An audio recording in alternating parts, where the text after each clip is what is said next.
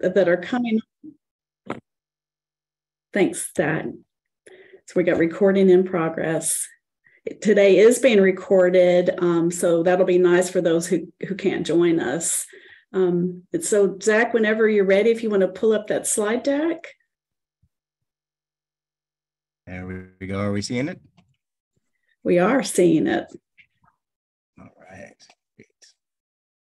Yeah, a lot of lot of familiar faces, and many of you we met in person this year, so that's really cool. Yeah, absolutely, and uh, thank you, and and welcome everyone uh, to our our latest UAS CTI consortium meeting. Um, we of course have the the regular players of you know Alina, Diana, myself, and then uh, a ton of names that now we not only recognize the name but have got to to meet some of y'all in person. Um, just going through the the list of participants there, and uh, it's it's great to see you folks back, and I hope uh, everything's been well for you uh, with the start of the semester since our our last meeting and everything. Um, yeah, it's just so great to see everyone. Um, Zach, thanks for starting that off. Um, for those of you who may be joining us the first time, I'm Diana Robinson. That was Zach Nicklin. Um, I'm actually project manager with the UAS Integration Office at the FAA and lead the full UAS CTI program and then co chair the consortium with Zach. And the consortium, if you're not sure, is made up of the two year and technical colleges, along with industry, state, local, tribal governments, uh, UAS education service providers, those who are more for profit, but that are a huge part of what we're trying to do with this integration of drones and meeting work, uh, workforce um, as it continues to grow. Um, we met at the end of July. I saw um, Grant Brewer and Will Austin are both here today, and they presented back uh, at the end of July. Uh, great, that was great presentations. If you missed that meeting or any other meetings, uh, most were recorded and are located in the uh, repository on the National Center for Autonomous Technologies, which we call NCAT, and that's where uh, Zach is associated with that. So, Zach, go ahead uh, if you have a few more words, and then we'll pull up the agenda. Oh, absolutely. I think I got the the welcome out of the way there. So we'll throw up the agenda. And I'm I'm working off of three screens today. So when I'm looking away, I'm actually looking at the presentation screen. So I do that as well. So we've got welcome and remarks. Um, we're going to have an update on these regional uh, events, the droning on regional editions from Alina. Uh, we also have other guests with us today. Uh, Scott Gore is going to, sorry, we're kind of tag teaming. Scott Gore is going to talk about um, a recruitment for the UAS CTI program. We have Amelia Fox, who um, she actually presented at the Droning on Southern edition and was just fascinating the work that she's doing, and she hasn't asked today. Yeah, then we got uh, Kevin Morris from the the FAA uh, office. He's you'll you'll know him as the FAA drone guy. He does all the videos and, and communications there. Um, he's another another Minnesota guy, so he's probably a little cold today too. Um, and then we'll we'll finish it out with some uh, you know what's next Q and A and and any closing remarks. Um, as usual, we'll happily stay on for a little while there and and chat about what's going on or any questions anybody may have. Um, so at this point, Diana, if it's all right with you, I'll go ahead and introduce uh, Alina George um, a name that really doesn't need much introduction because everybody knows Alina. And if you don't know Alina, well, I mean, you're, you're just missing out here. So, um, Alina, um, she's, she's going to talk about it again, our, our droning on and our, our regional edition update there. Um, I see she's bringing her screen up there. Um, these droning on events have been absolutely great. We had one in our Great Lakes region not too long ago got to see uh, Alina, Diana, Venus, and and some of the team there uh, in person, which was absolutely great. They brought in our regional administrator and uh, just a, a, lot of great conversation and, and some great educators. We had a, a room full of students there, um, so it was a good time. I'll, I'll let Alina, you know, take it from there. I just realized I needed to unmute. Um, hi, everybody. So I'm going to be talking about the outreach and engagement plan that is coming up for 2023, of which we are hoping that you all will participate. So, super excited for what's coming up this year. Uh, there we go. It's done the thing. So Drone Safety Day 2023, um, we are starting to work on this and get this socialized uh, within the FAA. So we are hoping for this date to be in March or April. We are going to be working with NCAT again this year. Um, we are going to be planning some agency events and we're going to be streamlining the event registration so that it is easier for everybody to get involved. Also, we are going to be using a lot of the same um, messaging from last year. So if you've got anything from last year, feel free to reuse some of that. And of course, fly right is going to be used again. So if you remember, this was our catchy little phrase from last time. Uh, register your drone, interact with others, gain knowledge, have a safety plan, and trust and train. And we are super excited for um, Drone Safety Day next year. This year, it was awesome. We had over 40 different events in person. Um, we also had events in three different territories um, and not including the US, three other countries. So we are hoping to exceed all of that for next year. And as we get more details, we will make sure to keep you all informed. But let me talk a little bit more about droning on. Um, this is something that we have come up with. And this year we actually went out to four of the different regions. Now, the FAA has divided the country up into nine different regions, and our efforts have been to go out to all of these regions uh, to promote safety and safety culture in drone operations, um, both commercial and recreational. Uh, we want to foster greater public acceptance and greater understanding of UAS operations. Um, and we want to build these strong working relationships um, across the FAA, state and local and tribal governments, uh, businesses, industries using drones, and of course, academia. So we are working in partnerships um, with the nine regional offices and with UAS CTI schools. These events are all free. Um, and typically they're about two to three days. It depends on depends on the school. So so far this year, we oh this is the upcoming schedule. Sorry. Um, so upcoming for next year, we currently have one solid date, and that is for our Eastern region. That is going to be April 27th through the 29th in New Jersey. So if anybody's around there in that area and wants to get involved, please let us know. Um, we are also going to have events in the Southwest region, Western Pacific, Alaskan, and Northwest Mountain regions. So again, uh, we are working with the regions right now to figure out dates and locations for all of those. But everybody on the regional side is so excited.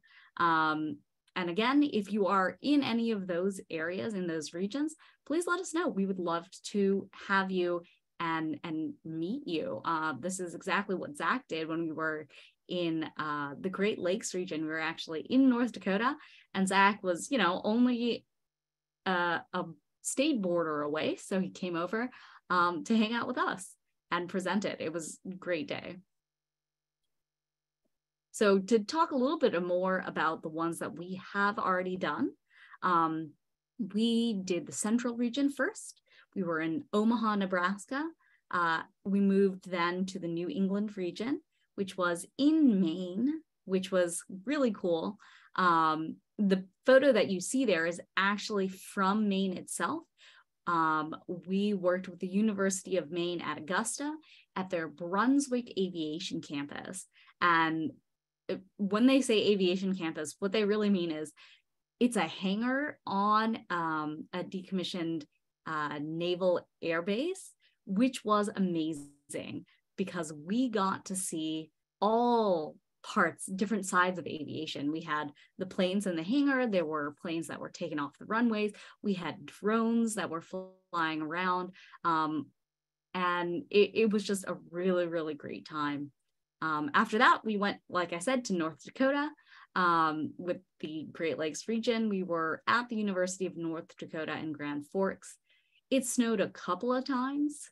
uh, I guess when I say snow, it flurried, but you know, it it was not yet snow time, so it was very exciting. Um, and then finally this year we did go to the southern region.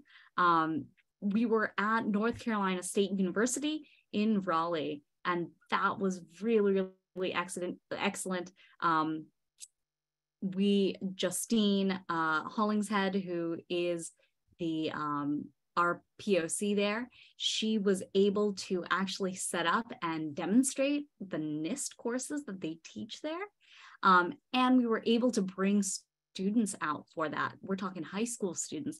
We had something like 50 um, who were there and for many of them, they, this was the first time they were on a college campus. It was really heartwarming. They got to see the drones in action. Um, and we were really, really excited about that. All of these events so far have been fantastic. Um, we are seeing registrations uh, upwards of 200 at this point, which is really great. Um, and a wide variety of people are interested and coming to these events. So we're, like I said, very happy with how these have been so far and cannot wait for more next year. And with that, um, I was talking a little bit about our southern region, and I would actually like to introduce um, somebody who I actually met for the very first time in the southern region, Amelia Fox from Mississippi State University. Uh, Amelia is um, she is the assistant clinical professor developing workforce related curricula for precision agriculture, which is super important these days. She has authored seven textbooks on GIS, remote sensing, and small UAS technologies. Um, she is currently creating an open source repository for small UAS training programs under the AMA protocol. And we all know how much I love open source anything, so this is fantastic. Um, Amelia is also the lead investigator developing virtual reality teaching tools um, that she uses for training uh, for both undergraduate and graduate students um, that move from sim technology to real uh, in-field fixed and rotorcopter aircraft, uh, aircraft flight training. I was trying to say too many words at once. Um, so with that, I would like to bring Amelia on and I'm going to stop sharing my screen. Thank you. Let me see if I can share my screen with y'all.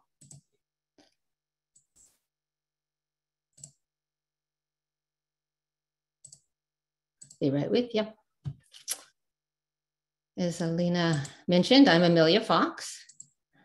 And thank you for the introduction. Um, so workforce development, precision ag, un, uncrewed flight.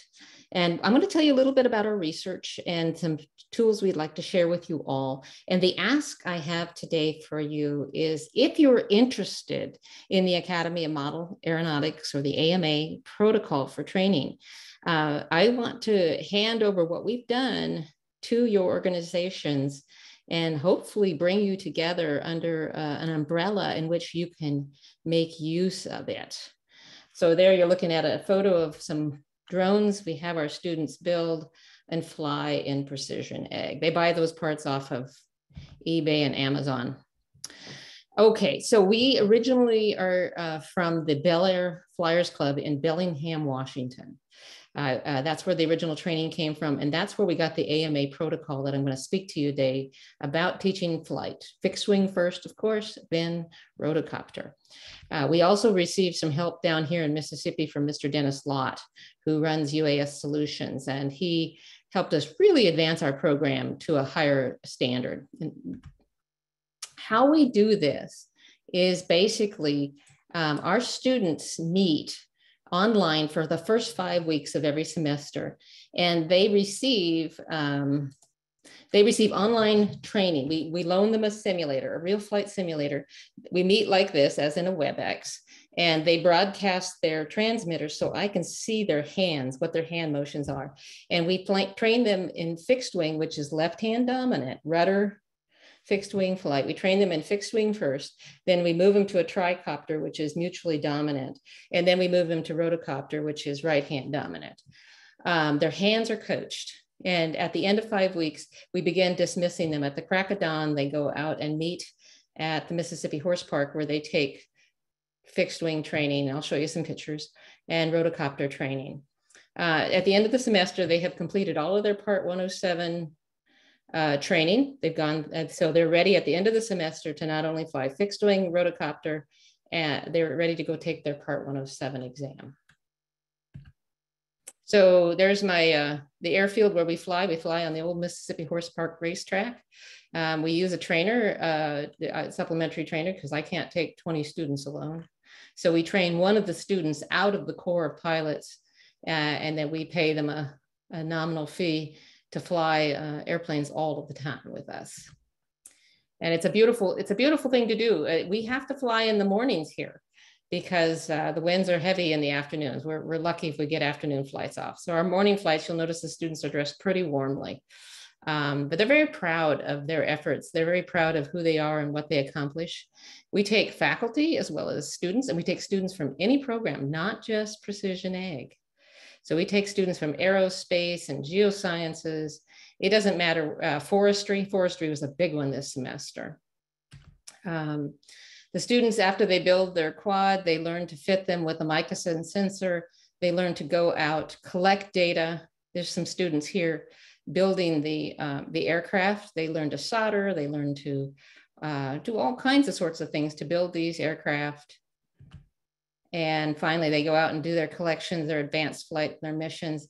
And then uh, in their year two remote sensing class, they learn to make variable rate prescription maps, topographic maps, um, just a variety of different maps in QGIS, ArcGIS, and Pix4D software. So what we do on the side though is we study neurodivergence. So the students, when they enter the, the introductory course, they take a 60 question survey.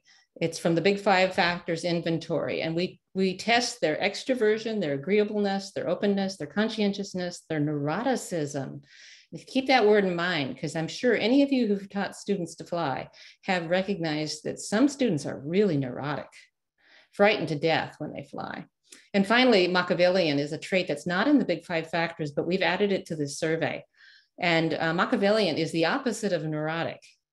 The Machiavellian students are cowboys. So let me just lay this out in a, in a way that you might understand it. Uh, a person who's neurotic, uh, a person who has low conscientiousness is inattentive, a person who's Machiavellian, uh, open, a person who's pervasive is the opposite of an inattentive person. A pervasive person is one who's really hyper focused. Typically, these are your very, very good students, very, very good students.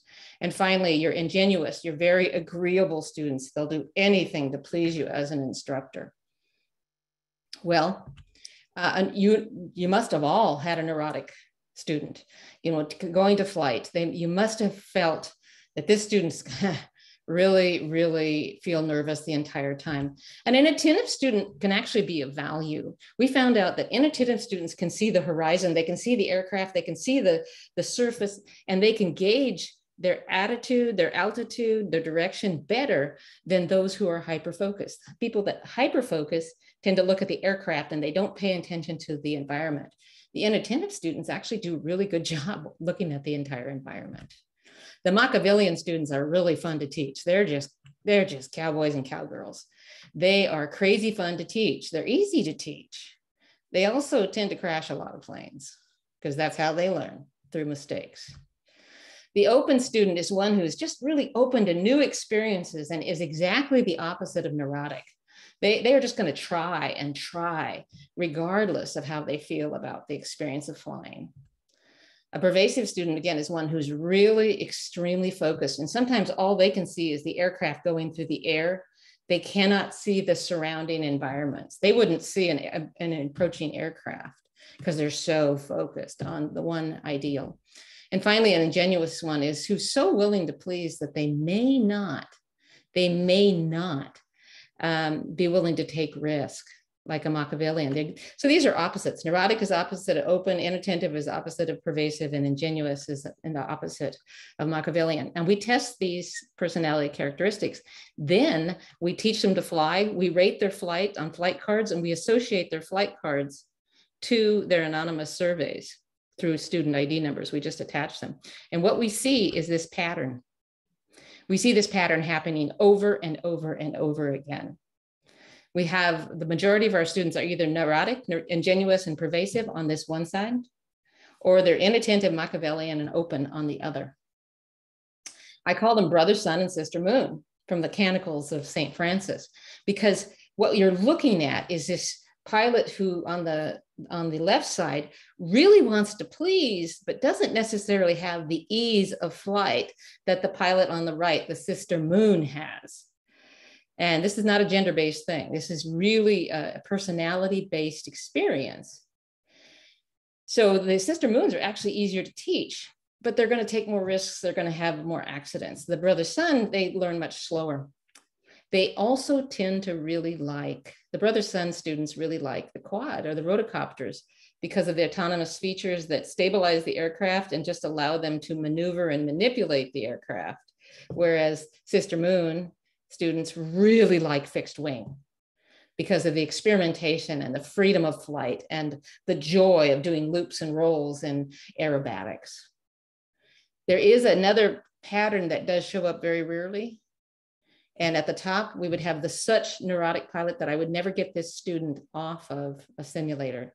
They would never be allowed to go to the field. I've only had one in seven years of training that was not allowed to go to the field because they could not pass the basic flight simulator theory training.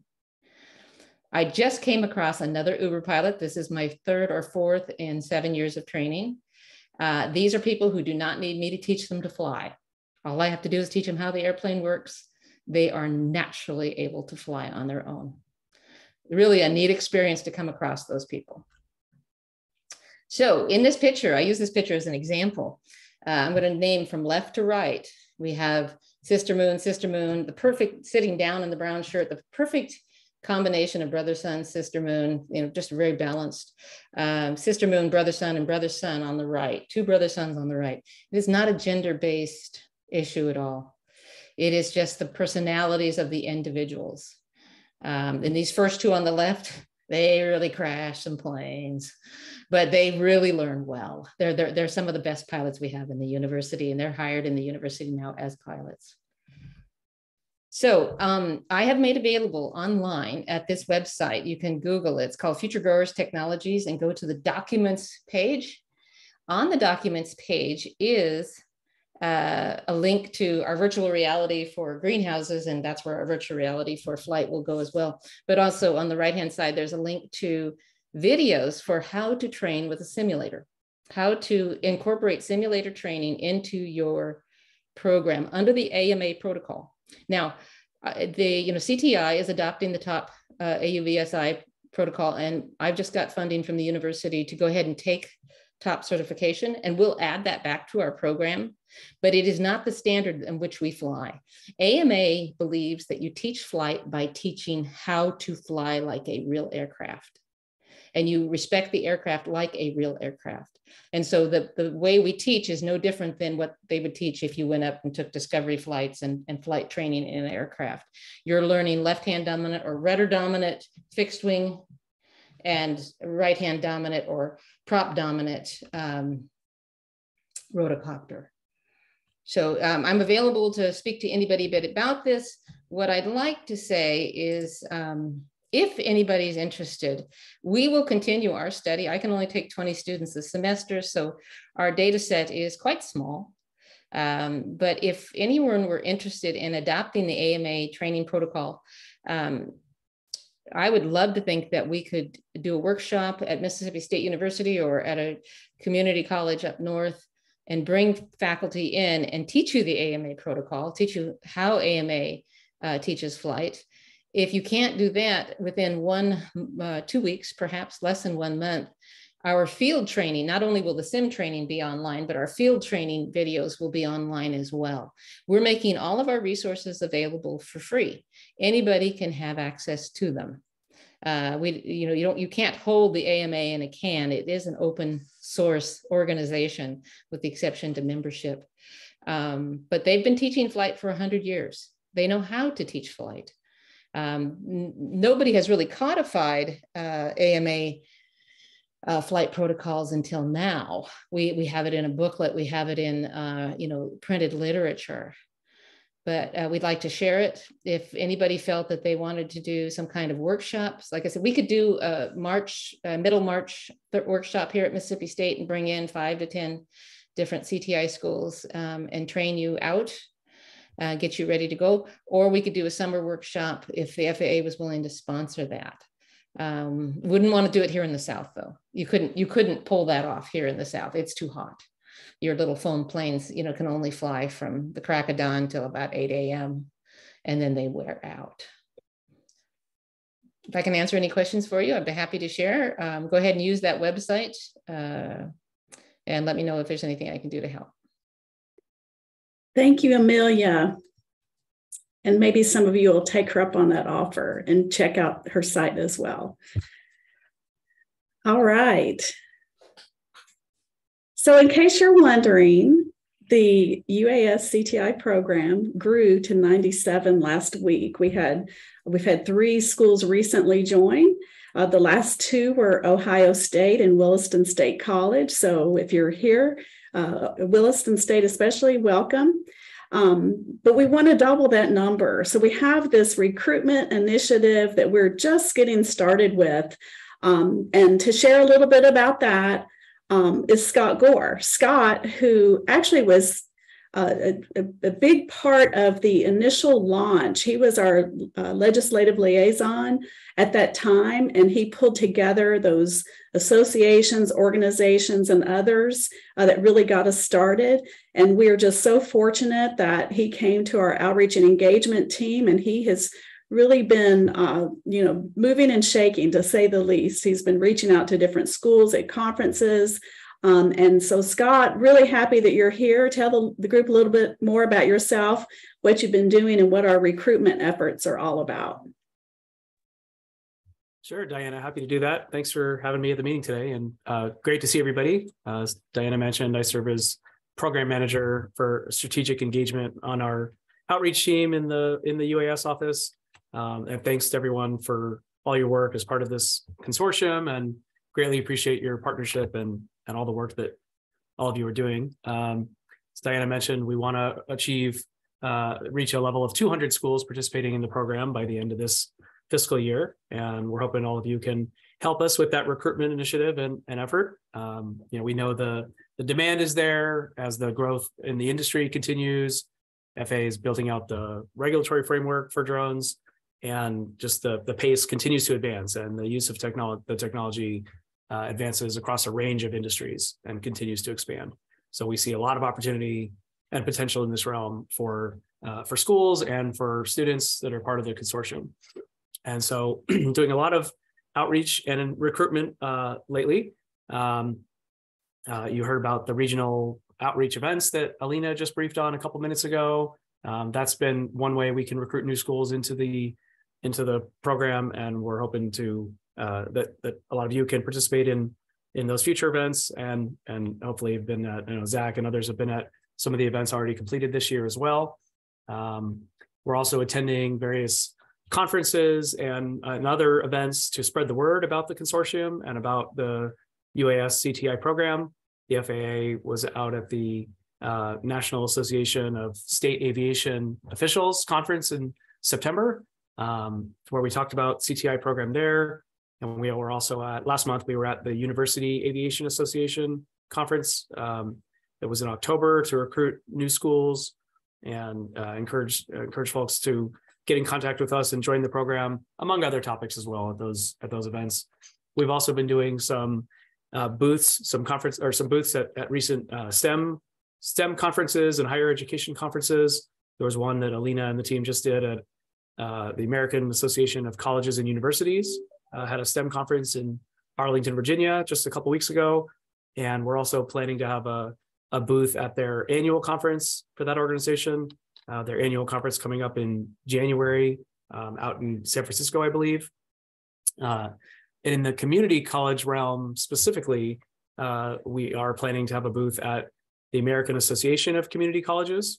Uh, their their annual event scheduled for the beginning of April um, out in Denver, and I don't know if any if anyone's familiar with that with that event or planning to attend, um, but I'll paste the link to it here in the in the chat.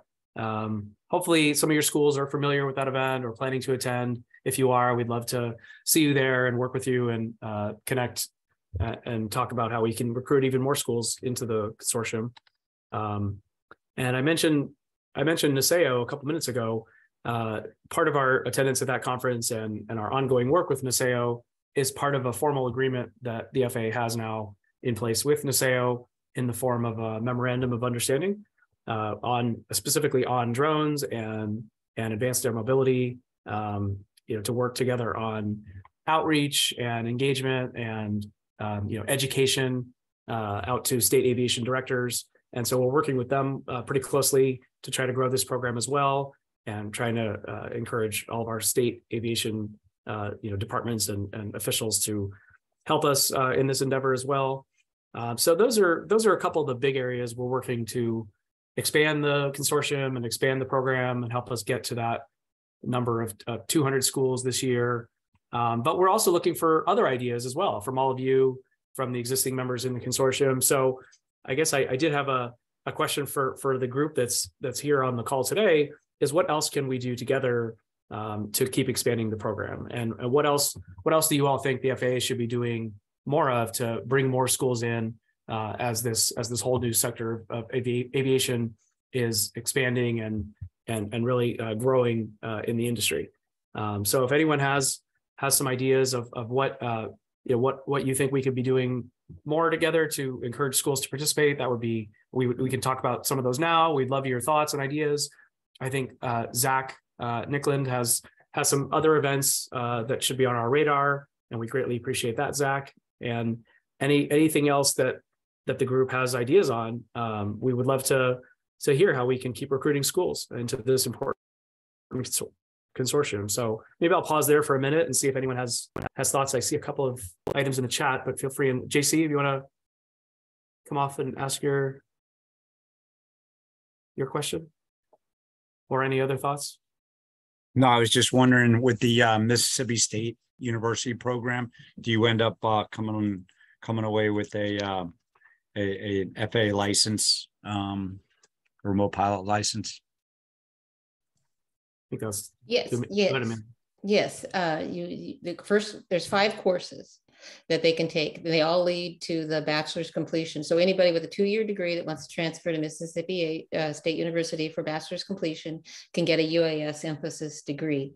The, uh, the five courses are Ag Flight Tech 1, you get Part 107 and you learn introductory flight. Egg Flight 2, you learned commercial coptering uh, and fixed wing which will add the top UA, uh, AUVSI standards to that course as well. Um, the class three, the class three, they learn to build the quad, uh, fly the quad, collect data. And then there's ag remote sensing one, ag remote sensing two, where they learn uh, how to use remote sensing data, GIS, cartography, and then mapping skills, QGIS, ArcGIS, and Pix4D. Thank you. And and you come along, you come away with an FAA pilot's license then. What, uh, Part 107 certification would be the proper term. We awesome. don't call we, we don't call it a license. We if, if a student, many of our students who are very talented pilots uh, uh, unmanned pilots, they'll go off uh, two miles to the east, uh, to the west, and take Part 61 as well. And then they will fly for Raspet. We'd love to have you all here to Mississippi State University to see Assure UAS and the Raspet Flight Laboratory, which is a leader in the FAA safety uh, development. So, yeah. I'm glad you mentioned Assure. Uh, Mississippi State, uh, they actually host the Assure program website. Uh, but we're fortunate that they are participating in the CTI program as well as that, that program, which is all about research. And Scott, you were asked if you'd be at AUVSI, so I'm assuming the XPONENTIAL. Yeah, so I, thanks, Grant. We hope we have a team, right?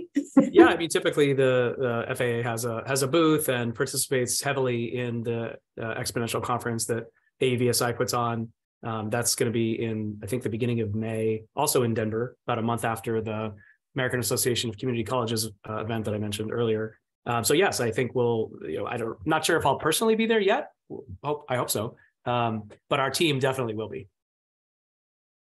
And we would love to keep uh, recruiting new schools into consortium and and CTI program at that at that event. Scott, just to add on to your your push for 200 schools from the FAA, um, you know the the folks in this group I, I think would be a, a, really great resource. You know, as you start talking to your colleagues in other schools and you recognize that they have you know UAS programs and and maybe a fit for CTI, um, you know, please send them our way. You know, we, we'd love to have them be a part of the community. Um, I, I, know I personally learned so much from from all the great people around here, um, even outside of the meeting times. I, I know that I'm talking with with some of you other folks, uh, you know, uh, about day to day stuff or or you know what whatever it might may wind up be. So I mean, this group is an excellent resource and uh, would work great as an ambassador for the program. Absolutely, yeah, I agree 100%, Zach. Um, if you're at your school, if you're part of a community college district or you're part of a, a community college system, and others in that in that system want to learn about drones or uh, explore you know starting drone courses and programs at their at their colleges or maybe they already have some in, at other campuses in your uh, community college district uh, have them get in touch with us. We would love to talk with them. We would love to uh, you know we could organize maybe a, a, a, briefing for all for representatives from all the campuses across the community college district that, that you're part of um, or or neighboring community colleges that uh, even if they're not in your district but you just you know know of other other colleges that might have interest in your in your area. Uh, we would love to talk with all of them. So feel free and send them our way to Diana or or myself directly, Alina, Venus, uh, our whole team, or even our we have a shared email box for CTI that I'm sure all of you are familiar with. You can send them there, and we would love to talk with with any of those uh, any of those other campuses that that uh, you send our way.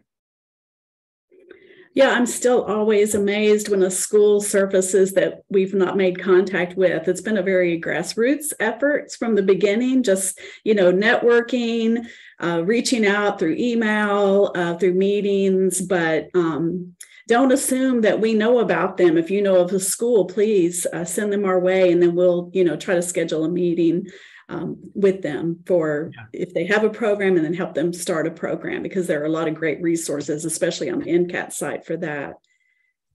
All right. Diane and Scott, I'll, I'll jump in here. Tyler Dobbs with AMA. And if AMA can be a resource, uh, we have programming for college and university level UAS operations. So um, I can drop my email in the chat here. And if AMA can help out in any way, we would be happy to do so. Thank you, Tyler. You're welcome. Yes, thank you, sir. Greatly appreciate it. All right. Well, we will move along to our, our next presenter, which I'm really excited about today. Um, we do have a consortium planning committee that meets periodically. We discuss what topics we'd like to have at our meetings. And also it includes suggestions that maybe you have given us through email or when, when we meet um, but one of the topics that everyone wanted to know about is the status of remote ID.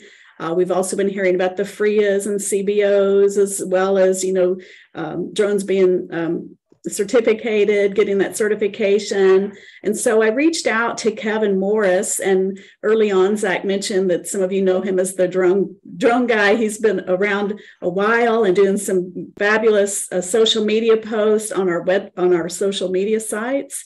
Um, he's, you know, been at different conferences. I hope you've had the opportunity to meet him.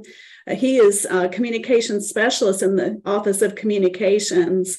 I was fortunate to meet him not long after I started with the FAA. At that time, he was with Flight Standards. So he's got a great background and, and, and knows the answers or will get uh, explain when those answers will be available. So, Kevin, I'm going to pass it off to you and thank you so much for being here today. All right, thanks, Diana. I really appreciate that that glowing intro. I don't know if I deserve it, but I'll take it. It's Wednesday.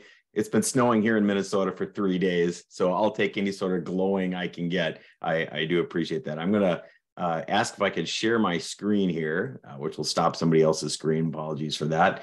Uh, so you should be able to jump into the presentation uh, that I want to go over today. So uh, I got a lot of stuff to cover, uh, so I think I'm going to move this relatively quickly some of it might be very, very familiar to uh, a lot of you on the call.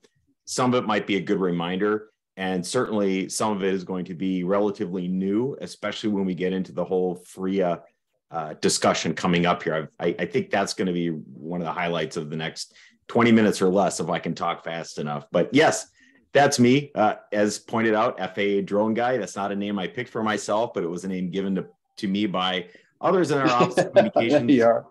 But uh, no, we we, uh, we found another restaurant too. It's a really good place to go have breakfast. And uh, oh, somebody's hot mic. All right, that's good. Um, I hope you get a good breakfast there. Uh, but uh, I hold an airline transport pilot certificate, certified flight instructor, remote pilot. I've also been at the FAA for 16 years. Most of that in flight standards. And during that time, I was doing pilot certification, aircraft accident investigation, some rulemaking, certainly a lot of policy work. And then I got pulled into the FAA's Office of Communications. So I've really only been in communications with the FAA for a couple of years, but I do have a lot of background knowledge that, that helps them out a lot. But I want to talk quickly uh, a little bit of review on certificates. Uh, there's really three types of certificates that we're looking at right now their remote pilot certificate, your recreational UAS completion certificate, and your registration certificate. So I just wanted to touch on these quickly. Again, most of you are very familiar with it, but let's talk about registration because there is a, a common misconception out there that there is a weight limit for registration. I want to dispel that myth here right now. If you're flying under Part 107, regardless of the weight, that drone has to be registered. There is no sort of 0.55 pound thing for Part 107. So under Part 107, all those drones need to be registered. It's a one for one registration. The difference is if you're flying under Section 44809, which we call the exception for limited recreational operations, that's where you'll have the weight uh, exclusion for registration. Another big difference between registering under Part 107 and 44809 is under 44809, it's one registration number for all your drones. So if you're flying under 4489, you have 10 drones, it's five bucks, and that number can be on all your drones. If you're flying under Part 107, it's five dollars per drone. So let's say 10 drones, it'd be 50 drones if I can still do math correctly. And that number would also have to be individually put on each drone with its individual registration number. I do put our website up there because unfortunately, if you Google FAA drone registration, I don't think we make the top three. I, I think the first three hits you're going to get back are companies that will take the burden of registration off your hands and register a drone for you for some crazy amount. It's not difficult. If you pay more than $5 to register your drone, you're going about it the wrong way. And I'll be happy to answer questions about that later too. Remote pilot certificates. We talked a little bit about this. This is something that we issue under Part 107. You have to take a knowledge exam. They are current for two years, and then you have to do recurrent training. But the good news is, if, if you don't know, you're going to be excited to hear this, but most of you probably know, we've made that recurrent test online and free. It used to be something you had to drive out to a testing center. Some people are driving four, five, six hours. Now it's just available online. It's free if you already hold a remote pilot certificate. And yes, if it's been four years since you've taken the initial test, you can still go online, take the recurrent test, and have your remote pilot certificate valid for another two years. But of course, that remote pilot certificate is for mostly commercial operations, nonprofit education, depending on what you kind of bucket you fall into. We'll talk about that in a minute, public safety, uh, et cetera. The other certificate we talk about is relatively new. Uh, it's a not an airman certificate, but a completion certificate. So Congress tasked the FAA with developing an aeronautical knowledge and safety test. We finally did that, and we have roughly 17 or so FAA approved test administrators that provide this test online for free. You can take it as many times as you want, any time of the day, and you can't fail it. What it does is it provides very basic information on how you can fly recreationally. Now, this is only under 44809 international airspace system. Now, one of the questions we get a lot is if you hold a remote pilot certificate, do you still have to take the trust if you want to fly under 44809? Answer is yes. Now, before you freak out, let me tell you why. There are differences in 44809 than compared to Part 107. Probably the biggest one I can share with you is that under 44809, you could fly an 80 pound drone. You cannot do that under Part 107. So, because of those little nuanced differences, even if you hold a remote pilot certificate, yes, you still have to take the trust. But I'm guessing anybody that holds a remote pilot certificate will complete the trust in about 10 minutes or less. It's not going to be that challenging for you. So, those are the certificates that you need to operate a UAS. And yes, if you are asked by law enforcement or FA personnel, you have to show those certificates to those individuals the trust, the recreation, uh, excuse me, the registration, and the remote pilot certificate.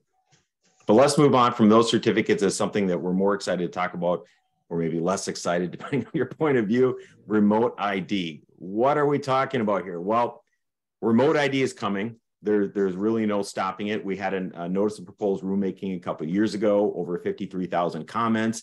We listened to you. There are a few things we changed in the rule, but the end result is still the same. Remote ID is going to be a thing and it's on the horizon. So, what are we talking about here? Really, we like to call it yes, a sir, digital please. license plate for your drone.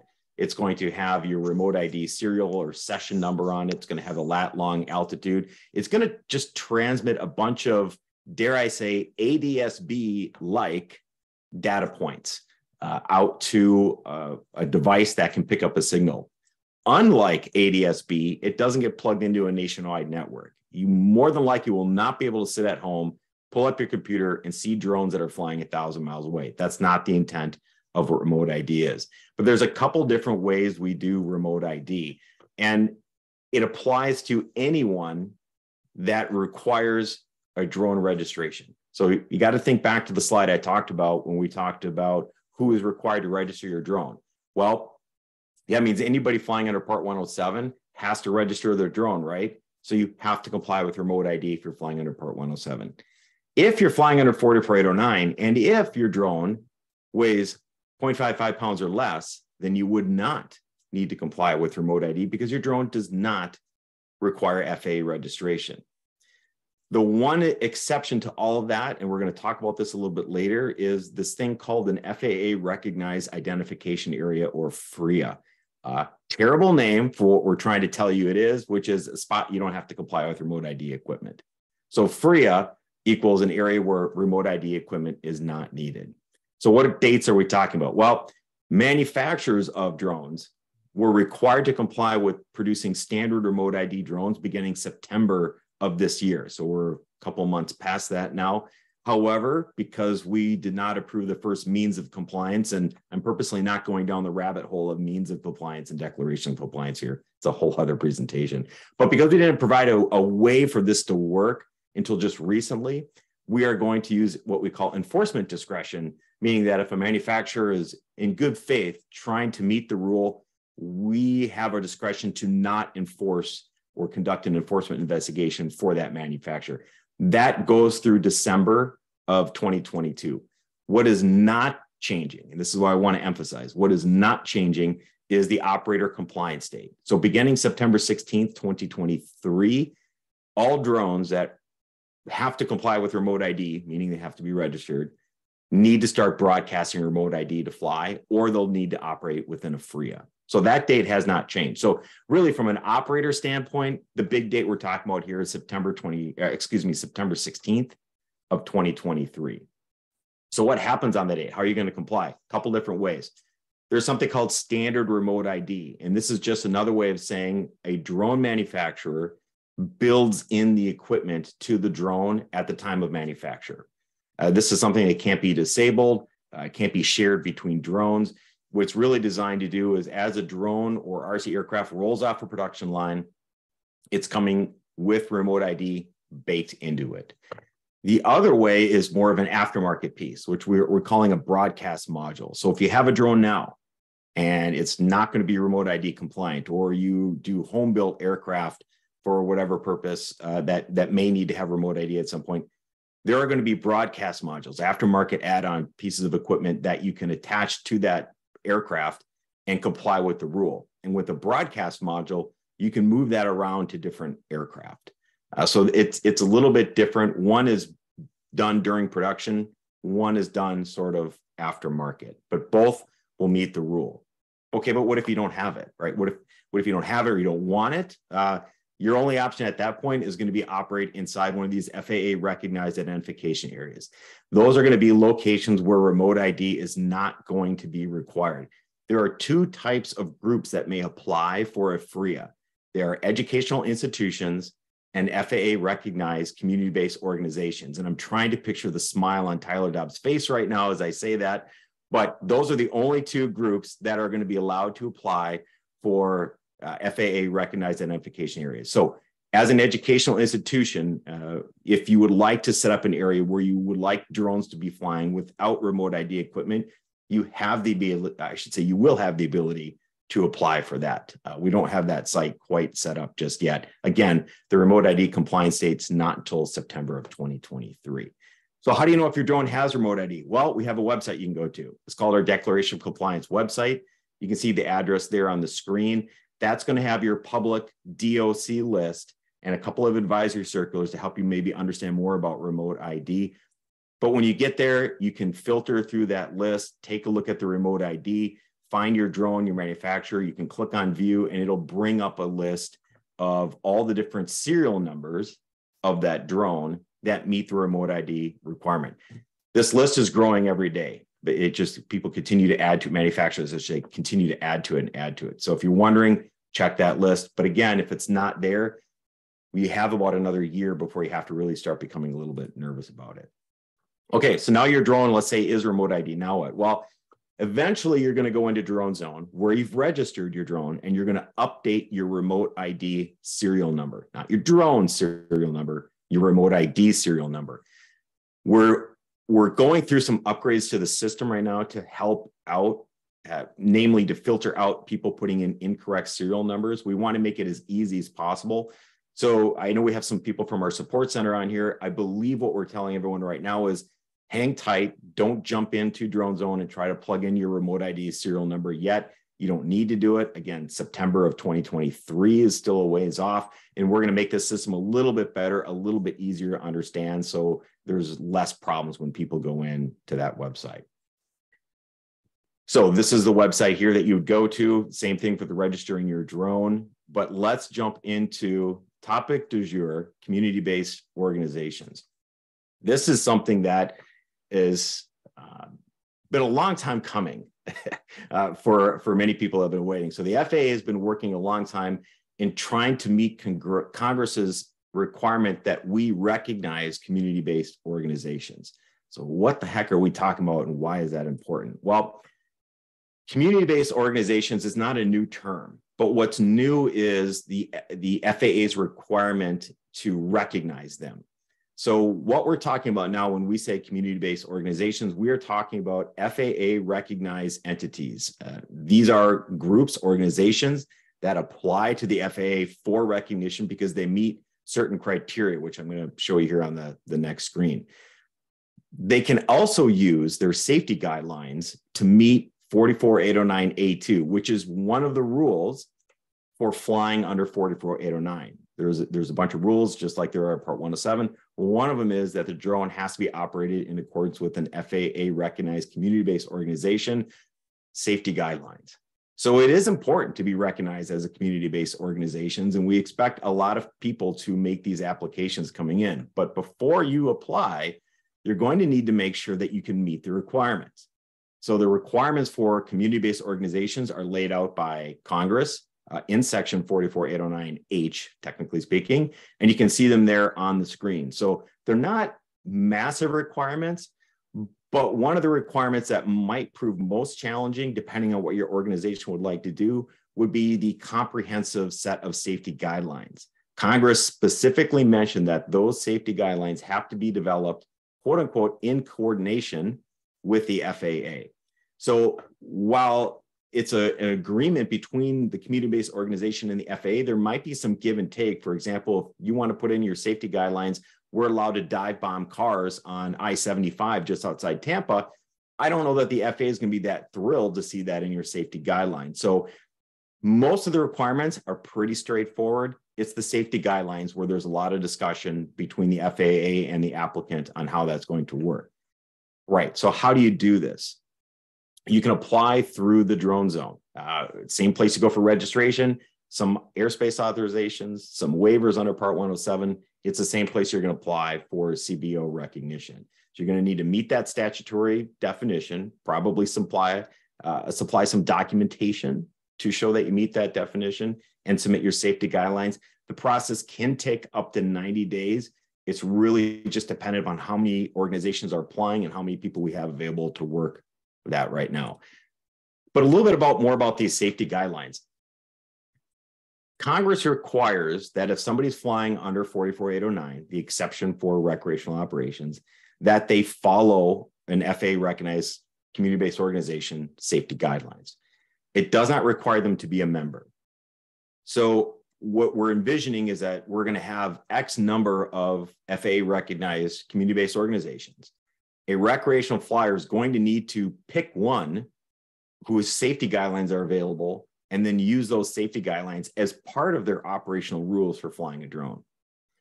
But it's very, very important. You do not have to join a CBO to use their safety guidelines. You just have to be able to say, I'm following AMA safety guidelines or XYZ safety guidelines. Whatever safety guidelines you're following, they have to be from an FA recognized community based organization. And I know we have one as of yesterday. You can all probably figure out who that one is. But what can CBOs do, right? So there's a few things, there's some benefits to being an FA recognized CBO. You can establish fixed flying sites in controlled airspace. You can operate over 55 pound drones in designated locations. You can charter, and this is important for a lot of people on this call, you can charter educational institutions.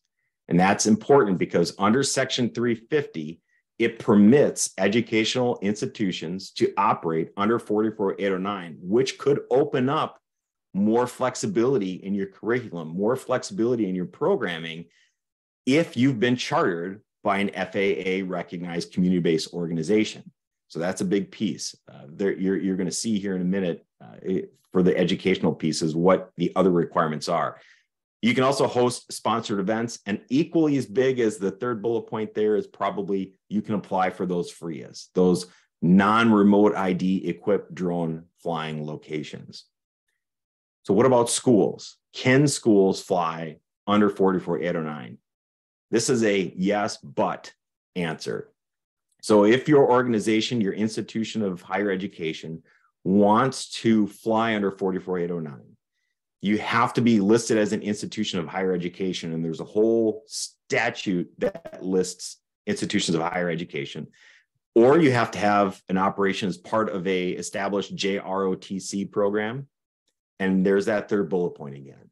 Or you can operate as an educational program that's chartered by an FAA recognized CBO. So again, here we hear that we have that FAA recognized CBO coming back into the picture. Now, moving on to the exciting stuff FRIAs versus fixed sites. I'm going to try to do my best to clear everything up here. We've talked about FRIAs, we've talked about fixed sites, but I want everybody to understand right off the bat, they're not the same thing. They are completely different. So if you forget everything I say, remember this FRIAs and fixed sites are not the same thing, two totally different things, right? Here we go couple of advisory circulars to help you understand the previous slide. If you like reading, here we go. AC 89-3 talks about FRIAs and AC 9157, uh, both of these just hot off the press, really talks about the exception for limited recreational operational aircraft. If you're going to be flying under 44809, or if you're going to operate as a CBO, you're going to want to be extremely familiar with these two advisory circulars. They're meant to help you through the process. Let's jump into it. FRIAs, FAA recognized identification area. This is where remote ID equipment is not needed. They can be in controlled or uncontrolled airspace. And it's important to remember this is remote ID equipment. You will not be able to turn off a standard remote ID. They're not going to come with an on off switch or a software feature that just says, well, I'll turn remote ID off for today's flight. This is the equipment we're talking about. Either your drone has remote ID equipment or your RC aircraft, or it does not. If it does not, you're going to need to fly in one of these FAA recognized identification area. There are some operational rules associated with it. You cannot fly beyond visual line of sight in a FRIA. Both you and the aircraft you're operating must remain within the physical boundaries of a FRIA. And I'm going to spend some time explaining that here. And FRIAs aren't valid forever.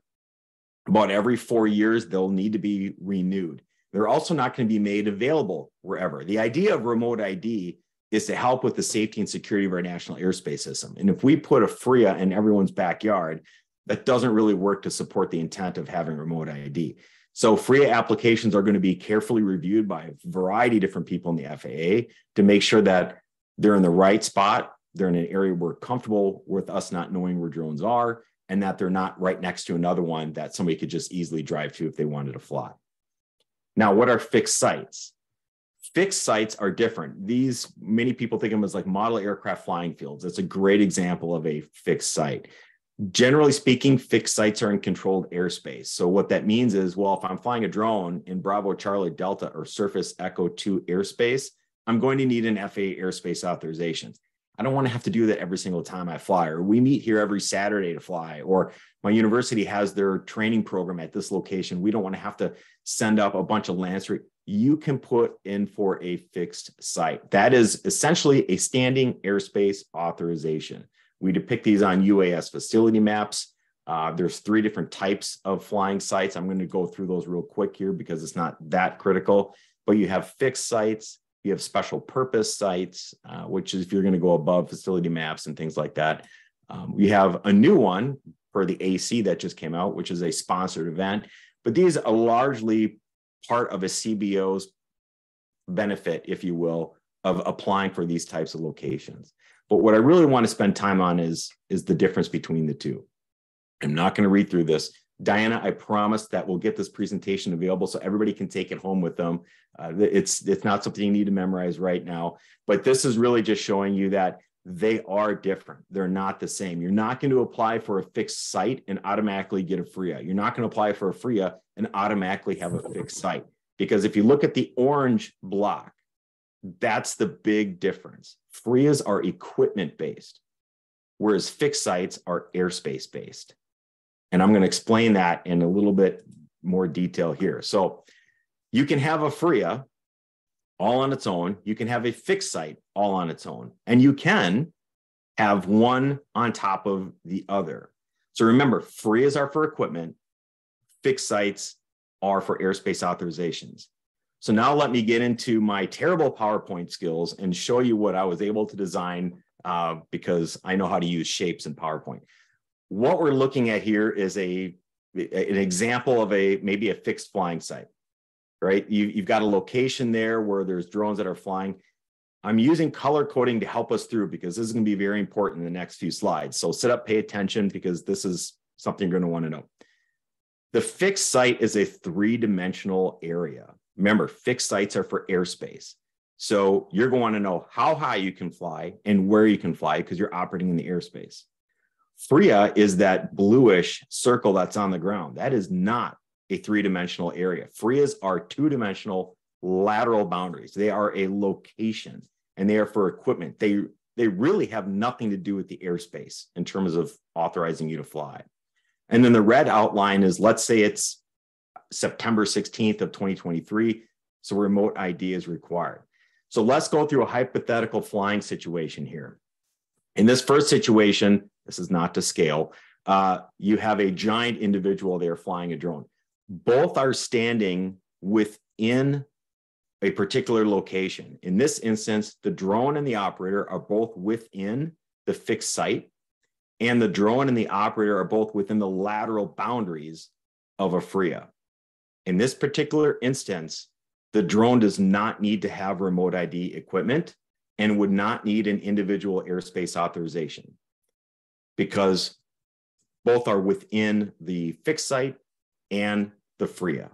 Now let's back the drone operator outside the FRIA.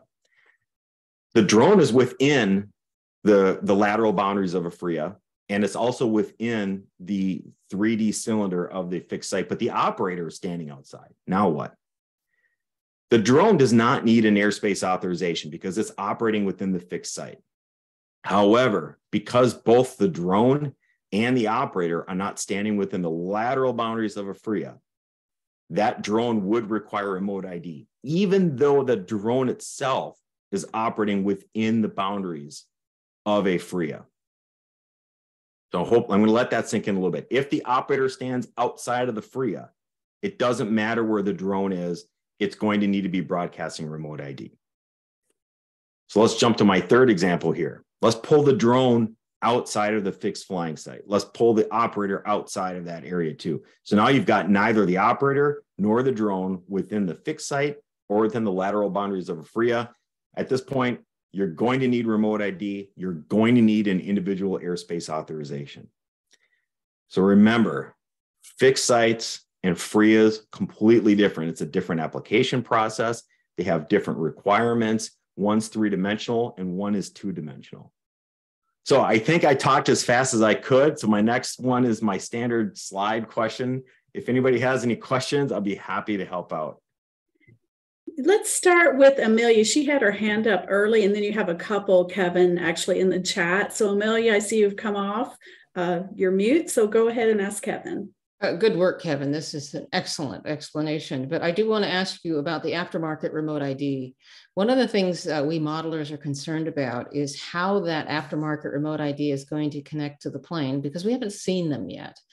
Our worry is that we're going to be required to connect them to the balance lead of the battery. Have you any idea what the connection for power is? I, I don't. And, and so we have not required, uh, let me back up my answer a little bit. Uh, remote ID, the broadcast modules, even the standard uh, module standard equipment that's going to go in are performance based rules or performance based requirements, meaning that the FAA is not going to specify it must be placed here, it must be connected like this, and it must transmit like this. What we set up are sort of the parameters it has to meet.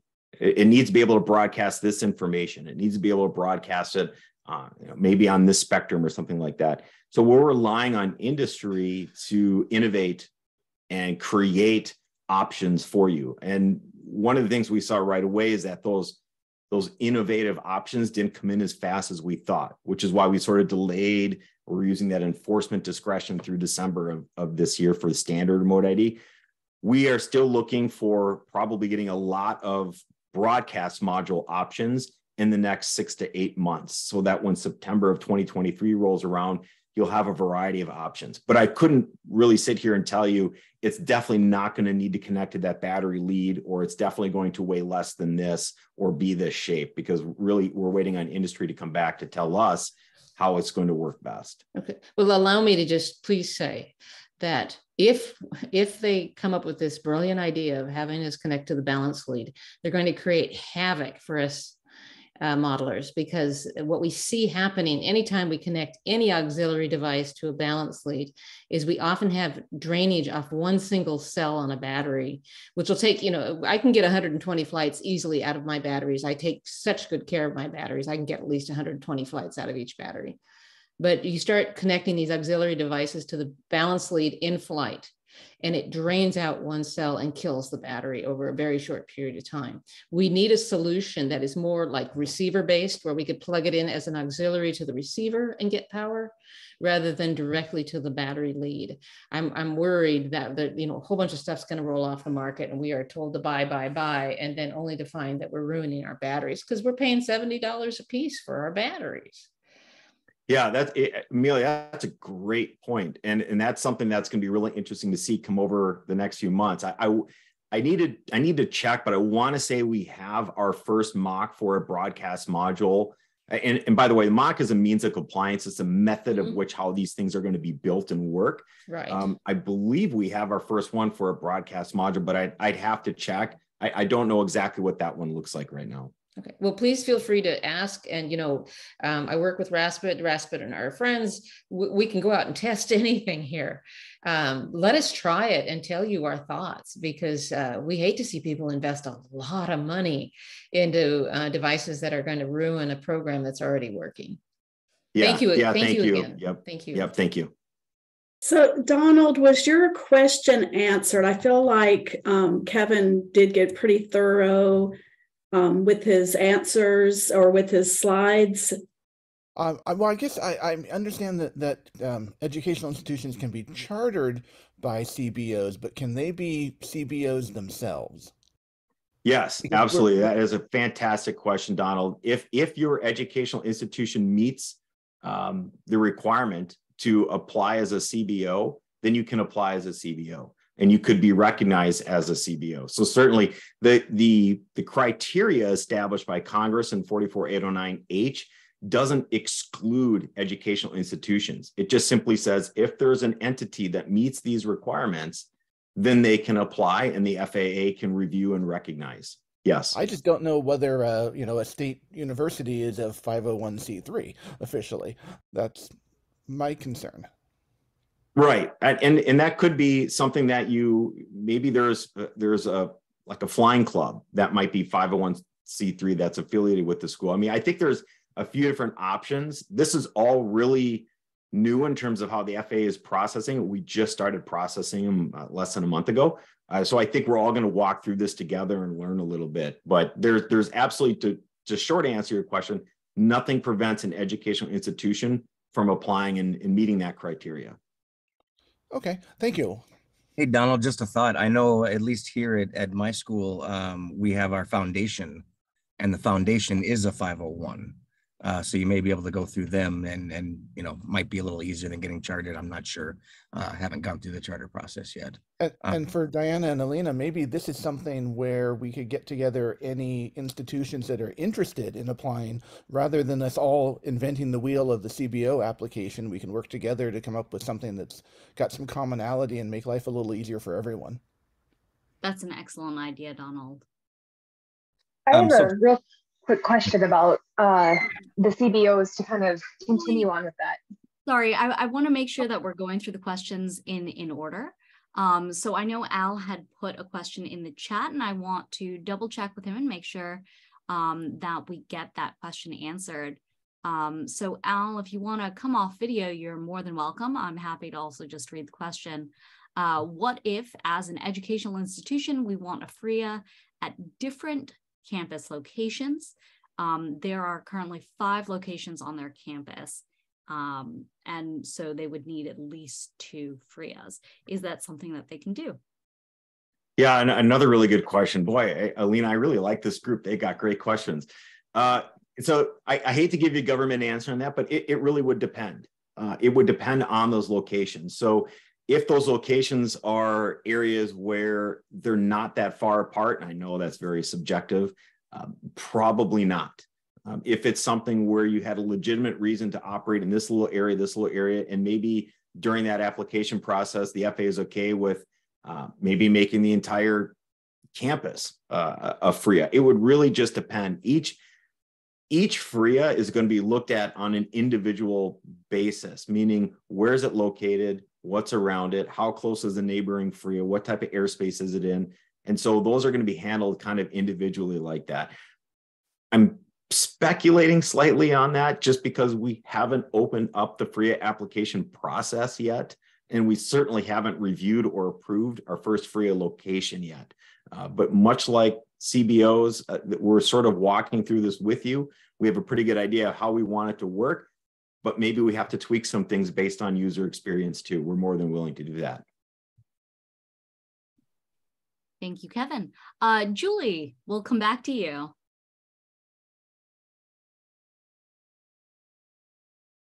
Oh, there we go. I just put it in chat. I was just wondering if there was any correlation uh, for the CBOs um, requirements and the educational institution um, belonging to the UAS uh, CTI program? Yeah, nothing direct, Julie. So there's, it's really, this isn't really even an FA rule. So it, why I bring that up is because we are very structurally limited to the words and verbiage Congress used in the statute. So the answer I have to give to that is if your school, which it happens to be a CTI school, if they meet all the requirements in 44809 to be a CBO, then absolutely. Yeah, you could apply. Um, there's another great question in the chat from JC. I uh, don't know if you want to come off camera or if you just want me to go ahead and read it, JC. No, many many thanks. As a as a flight instructor, I um, I use the FAA Wings program to to uh, help my uh, students uh, in in the ground phase and then translated over to the flight phase. and uh, there's been discussions over the past several years of of getting wings credit uh, for UAS operators, uh, much like in the manned realm. And there is UAS training in the FAA Wings program. It's awesome. But uh, but Kevin already, oh, I'm sorry, John answered the question that we're not quite there yet in getting um, credit towards uh, different levels of certification for UAS operators. But and by the way, I'm always impressed by Kevin's briefing. Thank you very much, Kevin. You're you're terrific. Thanks, John. I'll take that. I'll take additional sunshine on this day. I appreciate it. All right. Next question um, from Devin. Uh, is there any update on when the Part 108 may be introduced for over 55 pounds and BVLOS? Ah, I can't answer that question. I, I, I like my job too much. I I can't start speculating on rulemaking. Boy, they're probably listening to me right now. Um, I, no, I, I don't have I don't have really anything to add. And, and if I did have something to add, I would tell you that I have something to add, but I can't tell you. But I can't even tell you that. So uh, we we just finished up the BVLOS ARC not too long ago. That's the Aviation Rulemaking Committee, and we've taken their uh, feedback feedback back into the process. That's like sort of gets the ball rolling on rulemaking. But um, if you if if you talk to anybody at the FAA that's been involved in rulemaking, uh, they'll tell you all the same thing, which is get out. if you've done rulemaking once, you probably never want to do it again. So there's a lot of stuff that happens in rulemaking, as you can imagine. It's very complex, a very long process. And for something like creating a whole new part, Part 108, uh, which is really going to be designed to sort of sunset those 44807 exemptions uh, that are out there. Um, that's going to take a lot of work from a lot of really smart people too. Uh, but unfortunately, I can't speculate on any of that that's happening other than we are aware you are hearing rumors about it for a reason. It's a process that's ongoing. Thank you, Kevin. I know, and we get a lot of questions about 108, um, and that's nothing official yet. So, uh, Zach, I see that you have two questions. Go. I do. So the first one, uh, Kevin, back on slide 21, I believe it was, uh, when talking about CBOs, uh, it, there was some verbiage on there about furthering model aviation or model aeronautics um, as as part of the requirements for for a CBO there. Um, there you go. Mission is the furtherance of model aviation. Um, so when we think model aviation, a lot of times we we think you know exactly what you have on the screen right there. Um, are we including you know fpv flying things like that as as meeting that mission of furtherance of model aviation?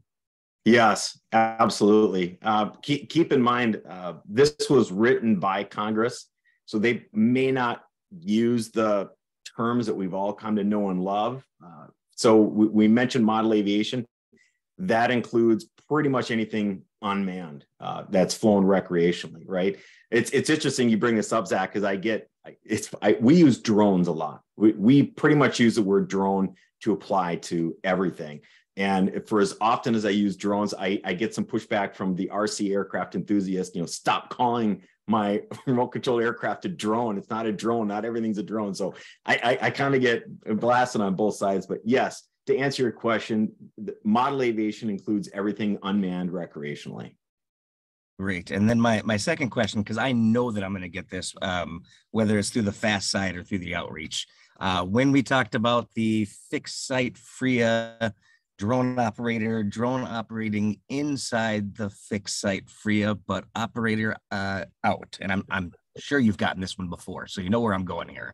Um, how how how do we respond to folks about the the because at, at that point you're talking about the the person on the ground and not the aircraft, right? And and the aircraft then is you know is under FAA jurisdiction, but the person on the ground. So, I, I like I said, you, you know where I'm going with this. Where where's where's that justification that we can pull out when we get that question? Uh, are you talking about justification of why the person themselves have to be standing within the FRIA? Yeah, why you would need a remote ID if your drone is flying in a FRIA.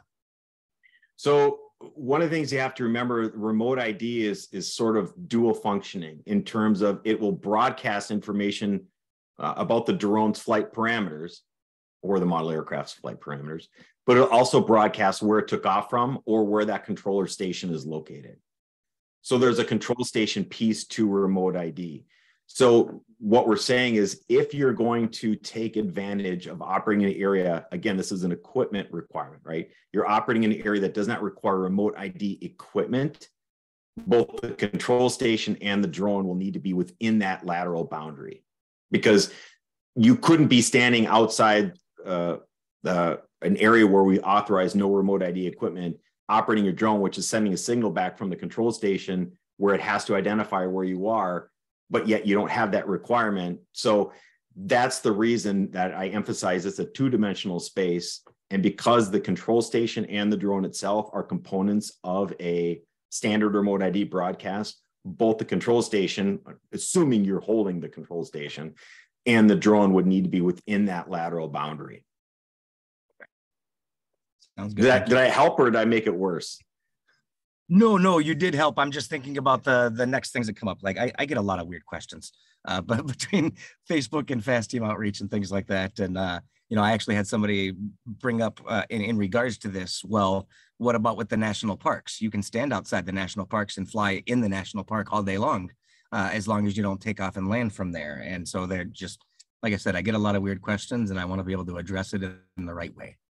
Yeah, and that's where I would go back to just reminding them that remote ID is an equipment thing. It's not an airspace thing, right? So make that hard divide. So absolutely, if they national parks say you can't take out for land your drone there, so I'm going to be super savvy, stand right outside the gate and fly my drone over the national park. By the way, I don't recommend that. I don't think you make a lot of friends that way. But legally speaking, you could do that, right? Uh, because that's an airspace thing. They they don't regulate the airspace uh, above that national park, or at least the national parks don't regulate that airspace. With FRIA, it's the equipment piece. It's what your drone has on board for equipment. Gotcha. Thank you. That makes it easier to have that conversation. Okay. And actually, this makes a really good segue into there. There are a number of comments about this specifically. Um, Part 93 airspace. I know John Sawyer, John Sawyer, Michael Trailer, you all have been talking about this. Um, John Meehan as well. So if you all want to come off of mute and and just kind of bring us into the discussion here. All right. Uh, so where we fly at in the, in the Panhandle uh, specifically is Eglin Air Force Base uh, controls much of where I fly. So I, am almost every campus I have is in controlled air, airspace, uh, and we're all covered by Part 93. So I, I already have to have uh, very detailed airspace authorizations to fly. So uh, that's why I was looking at the the fixed site because of our airspace requirements uh, and uh, the possibility of FRIAs and things like that. Uh, that's what I'm looking yeah. at. Yeah, Michael, good good point. That when the airspace becomes more complex, everything changes a little bit. The risk changes, all sorts of different things changes. You're probably more than well aware of. Uh, but so that's something that is real. That, that's why I went. I made my previous comment, which is these are looked at individually just like fixed sites would be looked at individually. You let's say you want to put up a fixed site there, so you have to do this complex airspace authorization piece every time. That could happen. It, it might not. They might say, "Hey, no, we just we can't accept that level of risk because of the your the Air Force base or the military operation or the critical infrastructure that might be nearby." Uh, but they also might accept it depending on mitigations you're putting into place. So the we, we've already had airspace authorizations, the same airspace authorizations renewed every year for four years. So I don't know why a fixed site would be an issue at that point. It, it probably wouldn't. I was talking more in generalities. So mm-hmm. if, if you've been getting authorizations to operate there uh, for four years, I don't think setting up a fixed site would prove to be that much more difficult, other than they may ask you to do a few different things because now they're not going to know individually where those drones and when those drones might be flying. But I, it shouldn't be too difficult if you've already had those authorizations. The FRIA piece might be more challenging uh, simply because of what you're nearby. I, you you you get near nuclear power facilities, electrical grid stations that are critical infrastructure pieces, areas of national security, things like that. Probably a lot more difficult, although I'll never say never. Uh, a lot more difficult to get an, a FRIA location established there because they probably want to know what's operating around that area. Okay. John, do you have anything? No, my comment was specifically for you, Mike, um, because I know that, you know, your, your operations and, you know, the last thing I would want is for you to apply for a FRIA and then be told no, you know, and then now where are we? So I just wanted to interject that into the conversation specifically for your operation. Yeah, uh, unlikely or not, uh, we've had to go buy out all new, uh, brand new equipment because of the state of Florida. So I think we'll be completely remote ID compliant. Uh, at least it better be with everything I just bought. So, And Uh, NDAA compliant as well. oh yeah, yeah, uh, they're they're they're all sitting over there. So I should be good to go on that that end. I'm just making sure. Um, you know, very interested in the fixed site because you know every year I'm going through renewing multiple airspace authorizations. Um, but we we can fly pretty much everywhere down here, so we're doing pretty good with that part with the Part 93 airspace. This has been great discussion, and I know it's coming close to time that we need to stop. Devin, I see that you came off mute. You have a question? Yep. Uh, that's one quick question. Um, is there a radius for in a recreational pilot to fly under the, the CBO organization? So say like someone here, I don't know, California is flying for someone in Florida, like they're using that CBO guidance for that 4408. Yeah. Uh, so I, I so no is the the short answer. So you you could go to um, I'm, you could go right now. We've got one FAA recognized CBO. You could go to their website. You could pull down their safety guidelines and fly anywhere in the country. Uh, it's it's not a location based requirement. It, it just like it's not a membership based requirement. Uh, what it really is is the FAA is saying we've we've looked at this organization, we've reviewed their safety guidelines, we find them acceptable for what we want, and that matches up with 44809. Therefore, we recognize them officially as a community based organization. Anybody can go to the website and follow their safety guidelines. All right, to wrap this up, um, don't worry about putting the slide up, Zach. Um, we just to tell you some things that are coming up next. We already know 200 for 2023. We need you all to be our ambassadors. Uh, those of you who are uh, not a CTI school, uh, but your industry, governments, if you have any contacts, get that information to us, um, and we'll definitely reach out to them. Um, NCAT will be working with us for that whole uh, recruitment. Um, and D- keep your eyes, ears open for the regional events in the spring. We hope to see you at Droning On uh, and other conferences that are coming up. If you yourself are going to be in attendance and we don't, you, for whatever reason, we aren't there, please be, again, that ambassador uh, to spread the good word about what we're doing. Uh, lastly, a couple things that we have going on. We're actually working on um, building out kind of a sub group of our group for high school clubs. And i say clubs because you know civil air patrol 4-h others that are training students around that middle school high school age. We want to capture that especially if they're linked with your school and you're giving credits for that. We want to know that. We want to uh, bring in faculty to some of our meetings so that they get this great information that kevin provided today we're also uh, Central Region is going to be leading uh, agricultural program.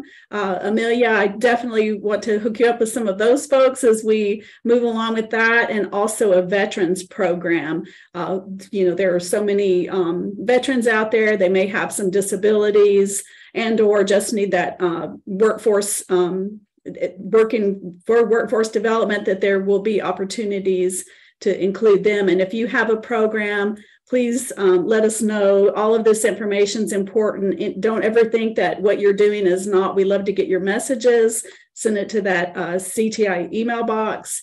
Um, and we look forward to our next meeting. We'll have a full CTI uh, towards the end of the year, and then we'll start back with the consortium uh, early in 2023.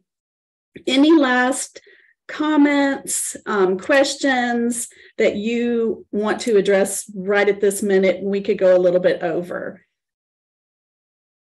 I just want to take a second and, and thank everybody for showing up here, uh, whether it's the CTI schools. I see a lot of a lot of our supporters out there. You know, I, I saw some folks from from DroneUp, uh, Mr. Brewer, and uh, lots of FAA folks out there. You know, Kevin, Amelia, um, Scott for for taking the time to talk to us. Um, keep an eye on the NCAT website. We are going to be doing some uh, some changes here over the next couple of weeks, some updates there. Uh, if you have anything to add as far as curriculum resources, uh, links that you want to see uh, linked to your pages, uh, please let us know. Um, also, any events that you have going on, uh, we do have our events section, so you can actually add your event onto the onto the calendar there, and we will help push it out through our social media platforms. So, just once again, thanks for everybody for joining us today.